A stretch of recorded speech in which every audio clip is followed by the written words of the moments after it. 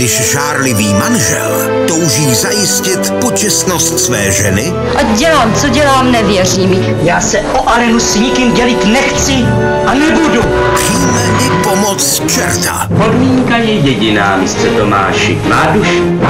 Ale uhlídat nevěrnou krásku není ani v moci pekelné. Alena ve středu ve 20 hodin na CS Filmu.